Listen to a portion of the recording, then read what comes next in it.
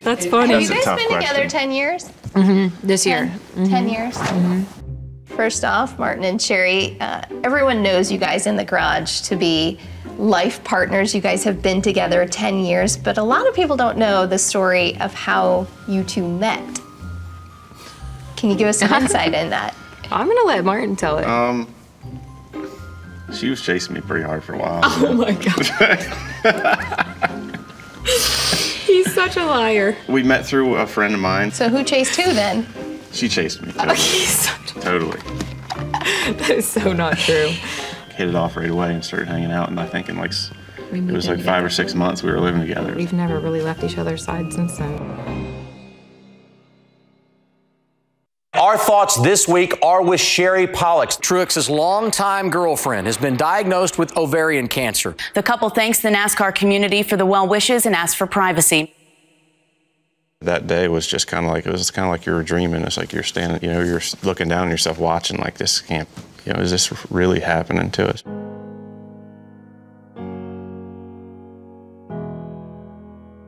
I'd been to the doctor for several months and, and was diagnosed with normal ovarian cyst, and they just missed it. They, they didn't know that I was full of tumors.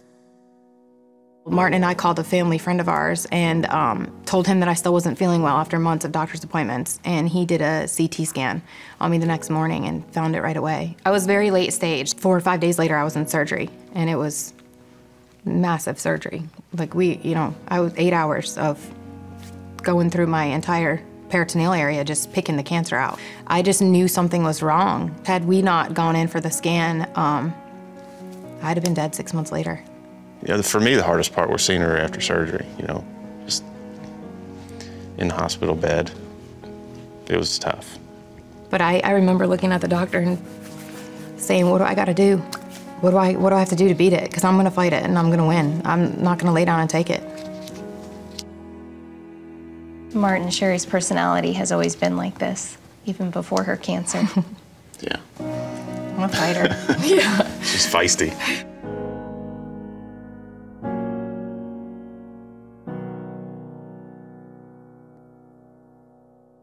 The last nine months and, and what you've gone through, Sherry, I mean, you've had your spleen, your appendix, your fallopian tubes, your ovaries, part of your stomach removed. Mm-hmm. You've gone through this chemo, you've lost your hair, your eyebrows, your eyelashes.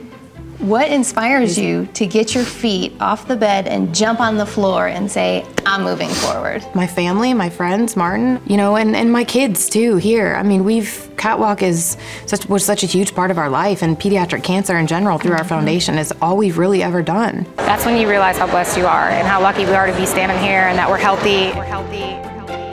The pediatric cancer just kind of, I don't know, there's something about it just grabbed a hold of us and said, "Here, this we need to be doing this." Ironic now, It- right? It's it's just crazy. Yeah, it's crazy how it all worked out. I kept thinking to myself, if they can do it, I can do it.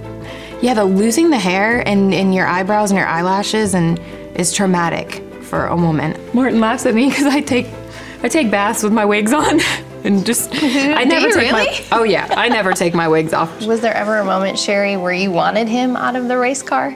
No, no, no, no, no, never. I mean, there was days he would leave to go to the racetrack and I would just sit on the front porch and cry because I didn't want him to leave, you know? I, I'm still like that. I'm a baby every time he leaves me. I never used to be like that. I was Miss Independent all the time.